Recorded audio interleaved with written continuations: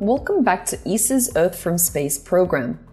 Today, all five of the Great Lakes are featured in this spectacular image captured by the Copernicus Sentinel-3 mission.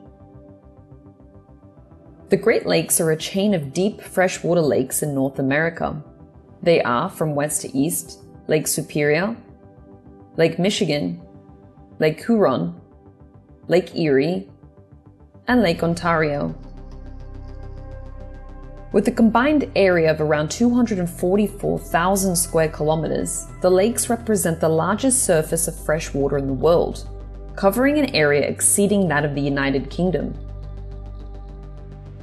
Around 100,000 years ago, a major ice sheet formed over most of Canada and part of the US. As it formed, giant glaciers flowed into the land, carving out valleys and leveling mountains. As higher temperatures began to melt the ice sheet, meltwater filled the holes left by the glaciers. Many of these holes today still contain water and formed the thousands of lakes across central USA and Canada. The biggest remnants of this process are the Great Lakes.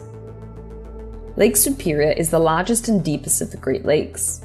It drains into Lake Huron via the St. Mary's River at an average rate of 2,000 cubic meters per second.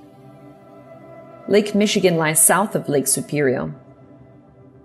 It connects with Lake Huron through the 6 kilometer wide channel called the Straits of Mackinac in the north.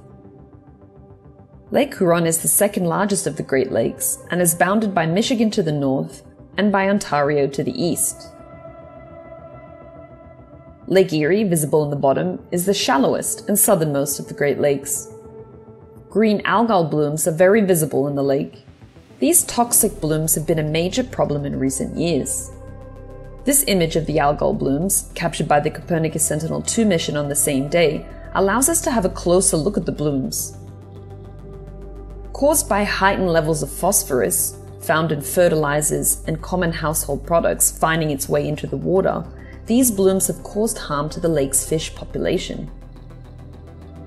Lake Ontario is the easternmost of the Great Lakes and also the smallest in terms of surface area.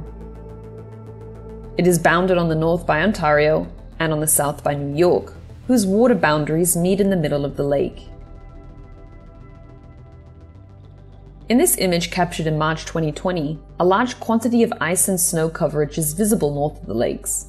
Yet the amount of ice cover on the lakes is minimal, which is extremely unusual for the ice season.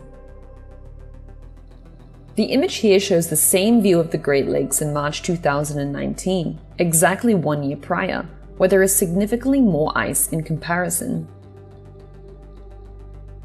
Ice cover on the Great Lakes can fluctuate dramatically from year to year, depending on several patterns of climate variability. Years with lower than normal ice cover appear to have become more frequent during the past two decades. The data suggests that 1979 was the year with the highest ice coverage, while 2002 had the lowest ice coverage with just 11.8%, which means that the Great Lakes were almost ice free for the entire year. As Earth's climate changes, warmer air and water temperatures have led to less ice cover on many lakes in North America, with the Great Lakes being just a few of them. Sentinel-3 is a two-satellite mission to supply the coverage and data delivery needed for Europe's Copernicus program. Each satellite's instrument package includes an optical sensor to monitor changes in the color of Earth's surfaces. It could be used, for example, to monitor ocean biology and water quality.